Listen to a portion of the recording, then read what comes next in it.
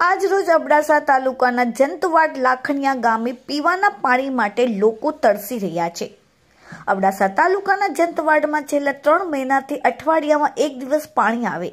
અને સાત દિવસ પાણી ન આવે. ગામના લોકો ટેન્કરની માંગણી કરે તો ચોખ્ખી ના પાડી નાખે છે.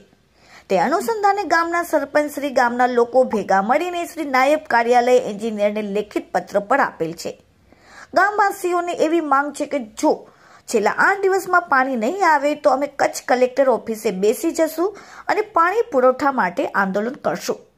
પાણી પુરવઠા અધિકારીને સંપર્ક કરતા તેમણે કીધું કે, લેન તૂટી જતાં એક બે દિવસ પાણી બંધ થતું હોય અથવા મોટર બળી જતાં પાણી એક બે દિવસ ન પહોંચી શકે. તમે ટેન્કર ધોવા પાણી પહોંચાડીએ છીએ. સ્થાનિક તપાસ થાય એવી પણ લોકોમાં માંગ છે. જેમાં ઉપસ્થિત કાસમભાઈ જત સરપંચ શ્રી લાખણિયા ઇસ્માઇલ મહમદભાઈ સામાજિક અગ્રણી સુમાર માજી ઉપસરપંચ મુબારક સાલે તથા રઝાક ઉઠાર ઉપસરપંચ રિપોર્ટિંગ બાય રમેશ ભાનુશાલી નલિયા અબડાસા કચ્છ શું નામ કાકા તમારું જાર મામન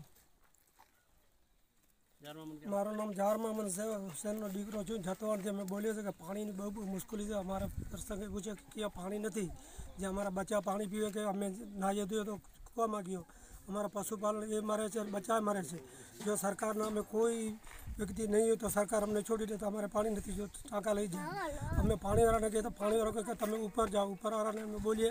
તો અમારે દાદ નથી રહેતા દાદ નથી રહેતા એટલે અમારો કોઈ હક નથી એટલે કાલે અમે જઈશું ધારાસભા પાસે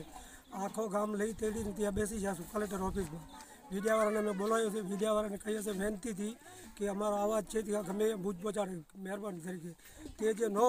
તો પછી અમારે કોઈ કહેવાવાળું છે જ નથી કે અમારો સરપંચને કહીએ તો સરપંચ કહે કે હવે અમે કૂવામાં પડીએ કે શું કરીએ તો સરપંચનો વાંક નથી ને ઉપરથી મૂક્યો ઓલા લેનવાળાને તો લેનવાળા અમને જવાબ આવે કે તમારાથી થાય તો કરી લે અમે ટેકર નહીં મોકલશું